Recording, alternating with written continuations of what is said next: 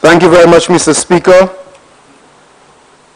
Before I get into the substance of my contribution, like the, the comrades before me, I wish to extend a warm and hearty um, International Firefighters Day to all the firefighters, the, the, the fire chief, and also all of the men and women who work in the front line, all of the men and women of the, of the fire service, the St. Lucia Fire Service. In the constituency of Vieux Fort North, we have many firefighters, and I wish them well, and I pray that their professional development continues. Mr. Speaker, I also wish to join my, my colleagues in extending heartfelt condolences to former Senator Joaquim Henry and hope that his fam family in time will find peace. Mr. Speaker, my contribution to this motion on the resolution of Parliament approving the declaration of the state of, of state of emergency passed as a statutory instrument number 38 of 2021 that of the, the ex, that extended the state of emergency for an additional period of 90 days commencing 11th day of February 2021 and ending on the 16th day of May 2021.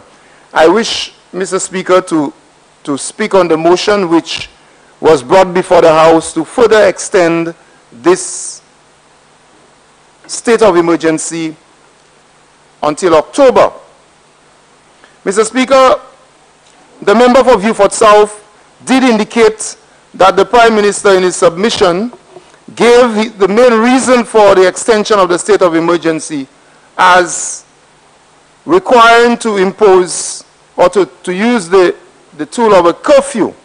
The Prime Minister also said, Mr. Speaker, that as part of, of his reason for wanting to extend the state of emergency is to prepare for any changes in the COVID-19 situation.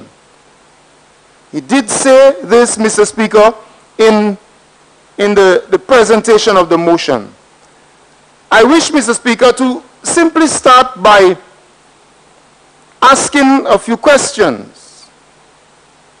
First of all, every time we come to this house to debate the extension to the state of emergency, I have asked over and over again for there to be some proper accounting for COVID-19 expenditure. The government has done so partially, but today, Mr. Speaker, in the Prime Minister's presentation, I did not get a sense that the government again is willing to, to come straight up with the people of St. Lucia to express or to explain the expenditure which has which has taken place in relation to COVID-19. Has there been any accounting for the COVID-19, any complete and proper accounting for the COVID-19 expenditure? Not today, Mr. Speaker. Is there an update today on the conditions at the Victoria Hospital, at the Victoria Respiratory Hospital? Did we hear today, Mr. Speaker, of any updates in relation to the non-functional x-ray machines that were not working at the OKEU and the St. Jude Hospital? No, I did not hear anything relating to that. Mr. Speaker, was there any report by the Prime Minister on the, on the health sector in general, which has been reeling, especially because of the impact of the COVID-19 pandemic? Are there any changes with the arrangements for, for future Curfews, Mr. Speaker. Have we ramped up tracing activities over the last few months, Mr. Speaker, and what, what is the report in relation to that? Any other information on, on isolation facilities which we have been clamoring for? House-to-house -house outreach, Mr. Speaker. What is, what is the update on this? And the suggestions earlier by the St. Lucia Medical and Dental Association to include both workplace and faith-based organizations in the outreach. there is no report on this in this House. Is there a proper vaccination report?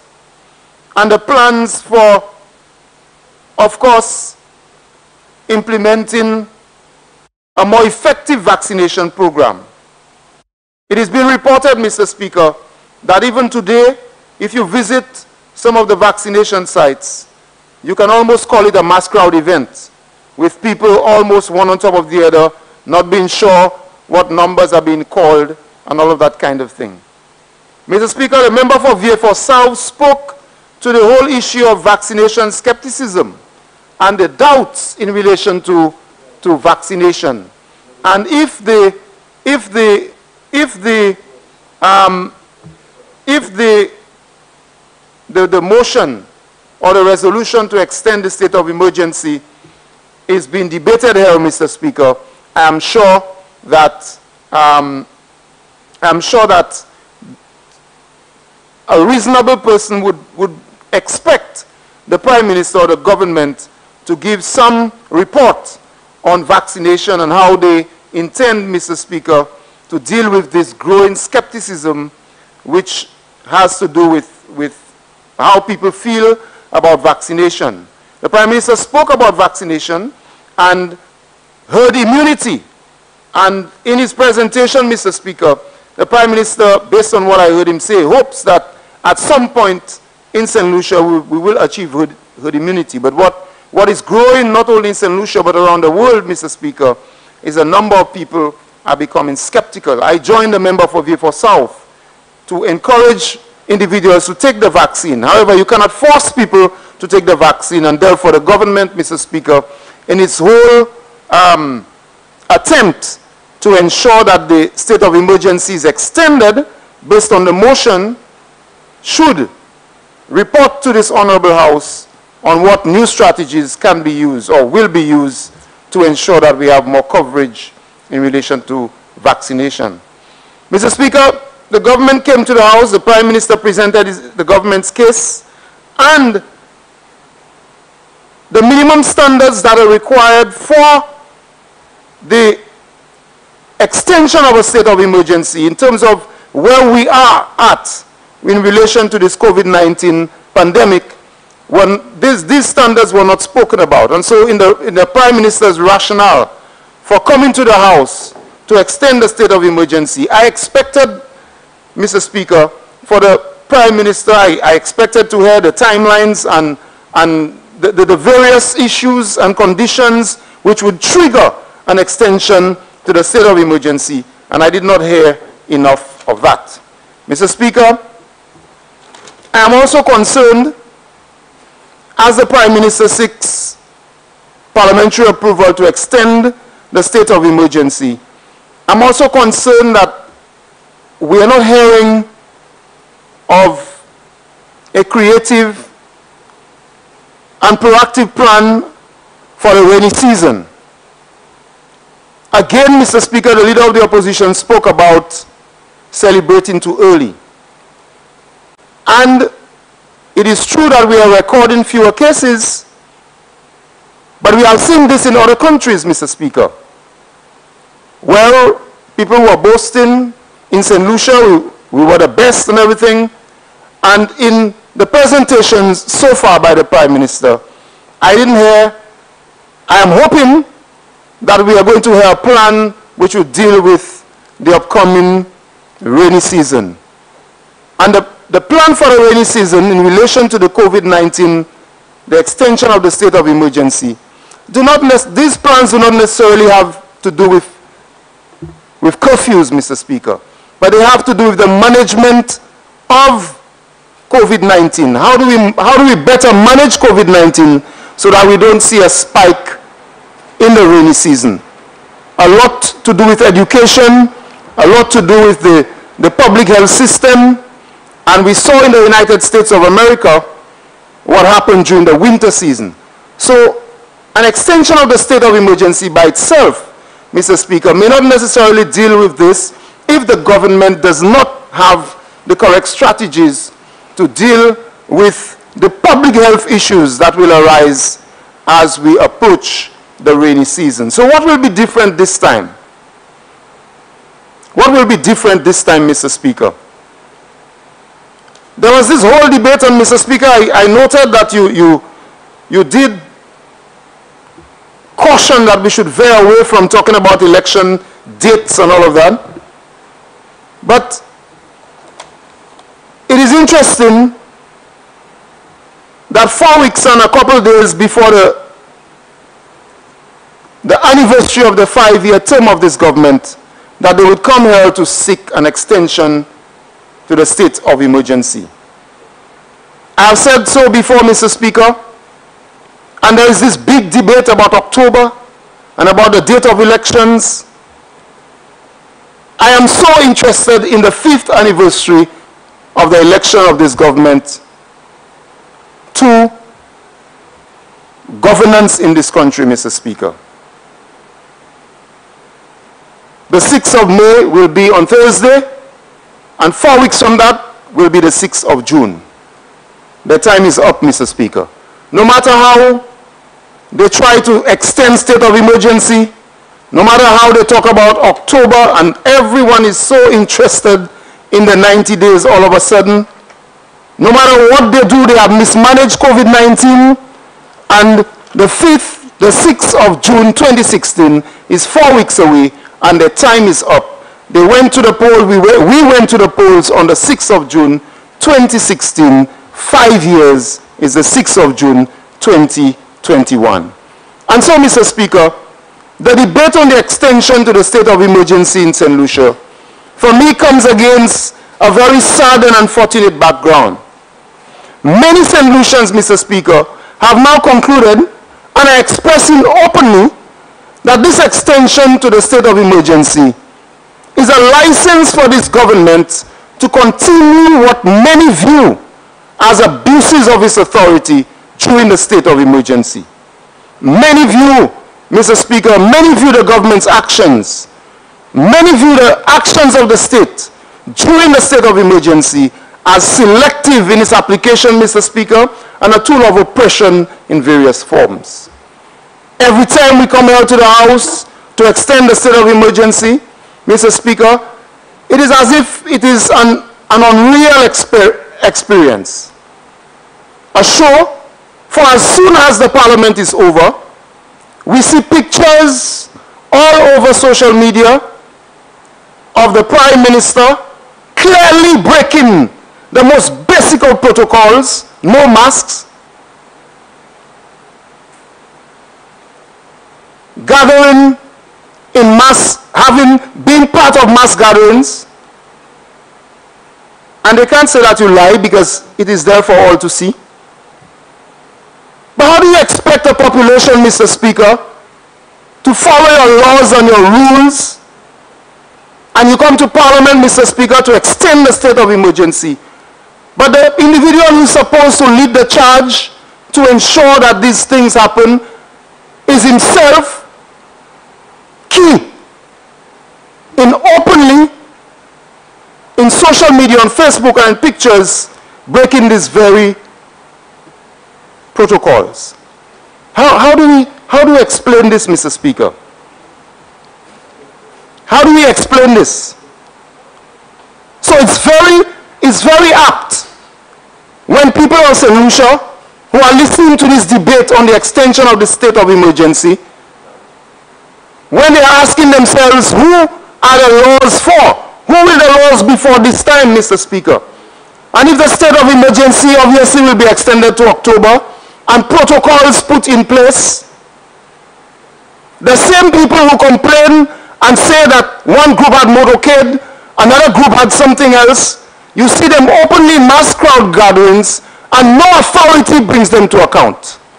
How do you how do you balance this, Mr. Speaker? Mr. Speaker. Mr. Speaker? Mr. Speaker, on a point of order. I think the member is misleading the House and setting a very dangerous precedent in this honorable House to say that the Prime Minister is leading out in mass crowd events and not following protocols unless the member can substantiate what he is saying. Because, Mr. Speaker, pictures on social media could be posted. Can I use the screen? Can I use the screen on my phone, Mr. Speaker, to show? Mr. Speaker, Where's Mr. my phone? Speaker, if I am permitted to use an example, I have cricket Honorable member, can you turn on your? I had cricket two years before the pandemic. They went out and they posted things on social media to indicate as if that was a recent event. Mr. Speaker, it is the future of this country and that is irresponsible and reckless behavior by the member for Vieux Fort South to be inciting that those who are legislating in this honorable house are themselves not following the rules. And the member should desist from doing that.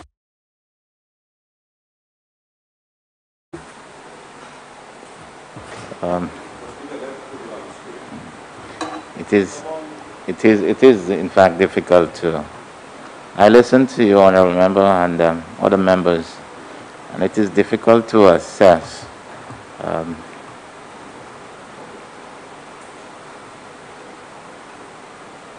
the not veracity of what you're saying. I'm not going there.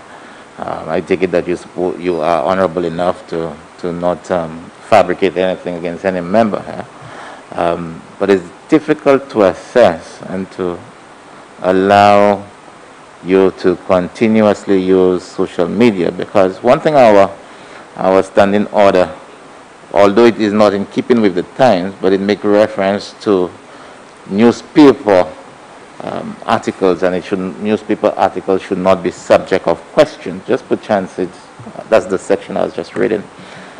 So it's difficult to assess, honourable member, when you see that um, the prime minister was seen on social media um, during the state of emergency and violating protocols. It is very difficult for me or any member here to assess that because what that can be posted on social media, ca- can be reposted, and he may have been, I'm not sure if what you're saying is the same thing, he may have been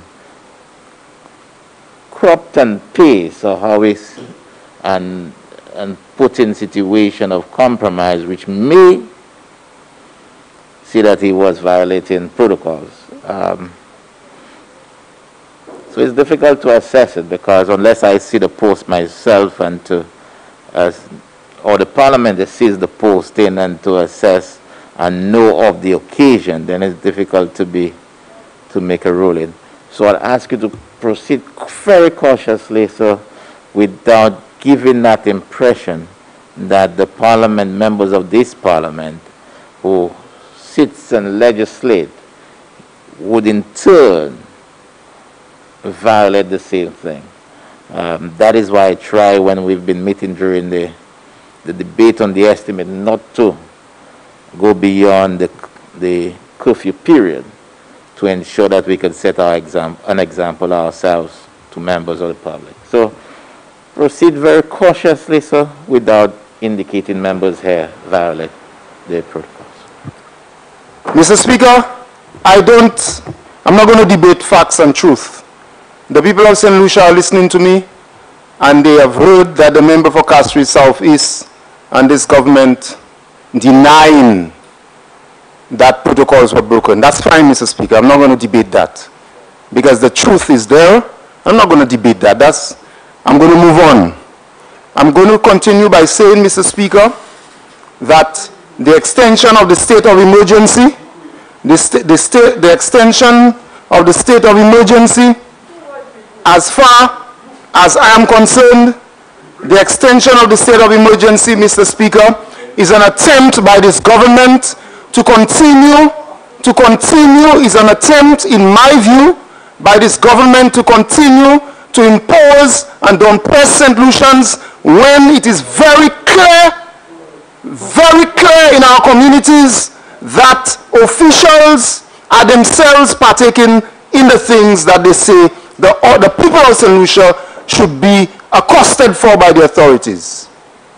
Mr. Speaker, I am pleading that with the extension of the state of emergency, and if curfew hours are, are implemented as they have been implemented now, Mr. Speaker, that with the extension of the state of emergency, I am pleading for the micro business people in my constituency and in St. Lucia who are crying out for support because it is very clear that if the government continues with the state of emergency or when they continue, that curfews will be imposed and if the curfews continue, Mr. Speaker, to impact on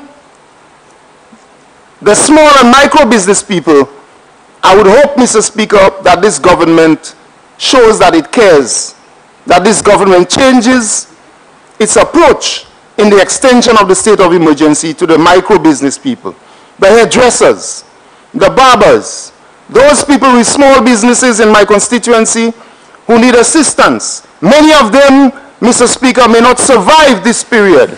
Many of them may close down as a result of the imposition of the protocols. And therefore, I am calling for a government which needs to show that it cares a little more about these micro business people within the context of the extension of the state of emergency. I'm calling, Mr. Speaker, for the government to show that it cares a little more about these individuals who have come down with COVID-19. And the leader of the opposition spoke to it, Mr. Speaker. The conditions at the respiratory clinic. Improve access to health care, Mr. Speaker. And I guess they will soon ask for the evidence for this. But again, I'm not here to debate and to quarrel about what is fact. It is up to the members opposite Mr. Speaker in this debate on the extension of the state of emergency to sit down and challenge the truth and the fact.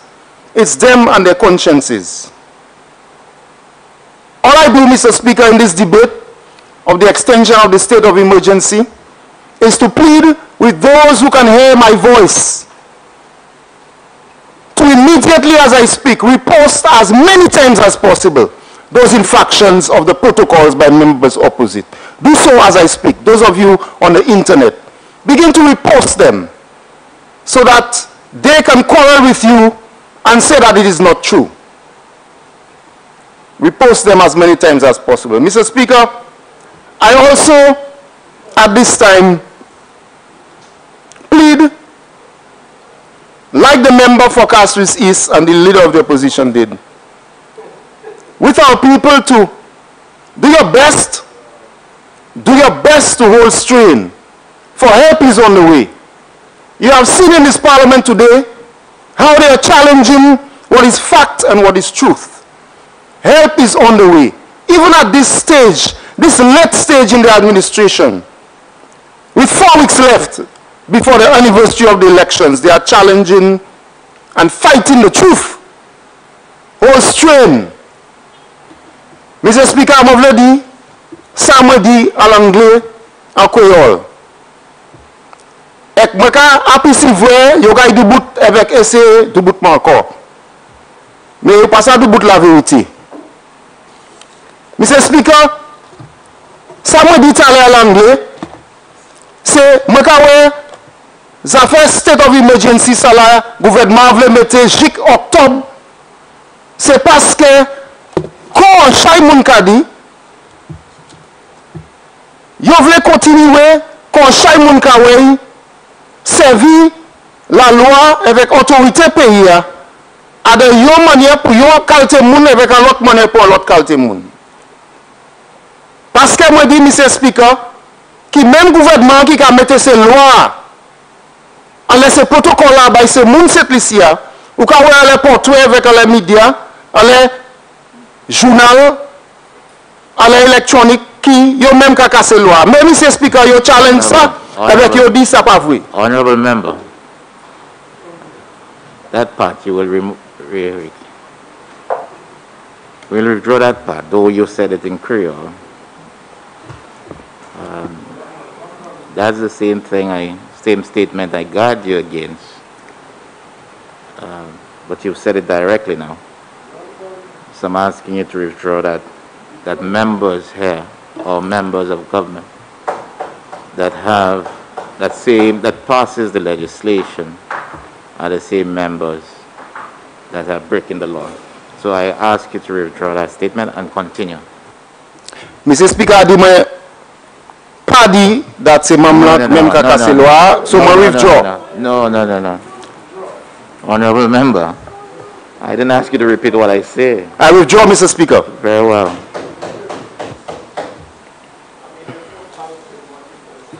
And, and thank you very much, Mr. Speaker.